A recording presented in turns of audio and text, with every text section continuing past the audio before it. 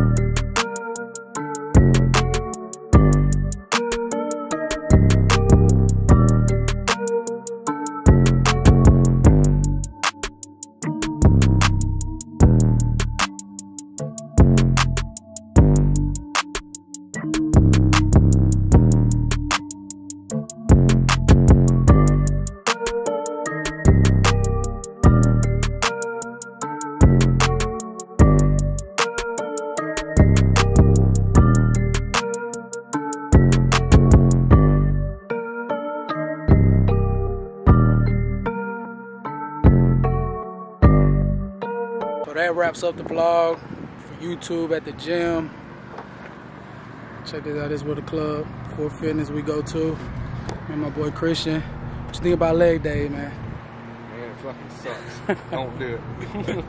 we did leg day, core, and shoulders. So, killed us. So, till next time, next vlog.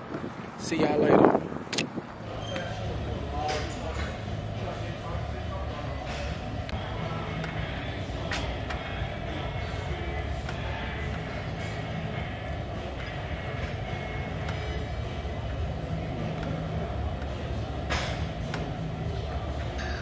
Now I'm on the low road. It's probably my favorite one out of all. So, about to get it. So I'm about to get a little cardio in. And it's just to pump me up for when I do the weightlifting and stuff. So I get a little cardio in and get my heart moving and body moving and stuff for the real heavy workout we want to do today. So just a little, little something, to start out with.